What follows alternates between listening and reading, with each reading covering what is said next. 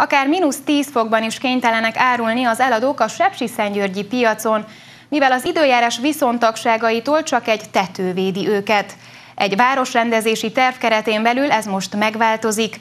2023 végére korszerű vásárcsarnok váltja fel az elavultnak tekinthető nyílt piacot. Napsütéses, de hideg az őszi reggel a Sepsiszentgyörgyi piacon. Az árusok számára azonban ez nem okoz gondot. Télen sokkal fagyosabb időjáráshoz vannak szokva. Felöltözünk. Mondja egy eladó, ő így védekezik a hideg ellen.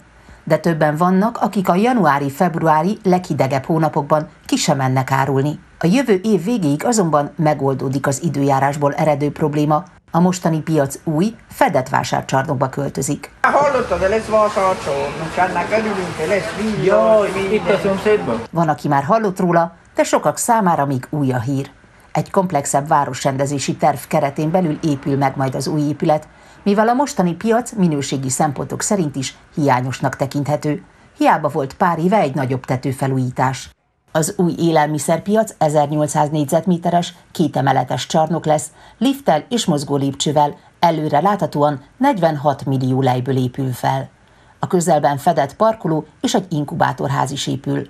Az új piacépületre vonatkozó megvalósíthatósági tanulmányt az önkormányzat a napokban fogadta el. Természetesen a vásárlók és az elárusítók kényelmi feltételeit is biztosítani kell esztétikai szempontokból is fontos, úgy tűnik, hogy ez a terv ez két régi ipari épületet is magába tud foglalni, és ezt egészíti ki egy, egy hipermodern fém, beton és üvegből készült épületrészsel. Kérdés, hogy az országban amúgy is az egyik legdrágábbnak tartott Sepsiszentgyörgyi piacon az árakat mennyiben befolyásolja majd az új épületbe való költözés hiszen az eddigi bérletárak mellé ezután még energiaköltség is társul majd.